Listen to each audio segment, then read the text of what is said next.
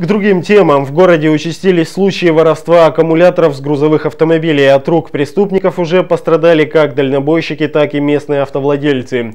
За последние три месяца в местное отделение полиции уже обратились более 15 водителей. В прошлом году за аналогичный период таких случаев было всего 4. Дело в том, что не на всех грузовиках аккумуляторные батареи надежно защищены.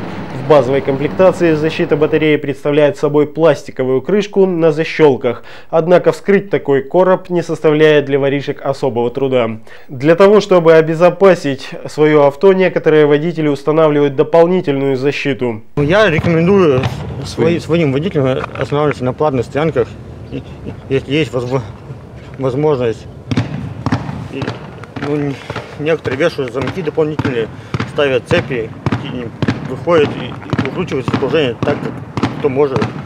Одним из способов защиты аккумуляторной батареи может стать цепь с замком, но все же она не так надежна для тех, кто оставляет машину без охраны на длительное время. Некоторые устанавливают короб из толстостенного железа. По словам автомобилистов, обойдется такая защита в сумму около пару, полутора тысяч рублей.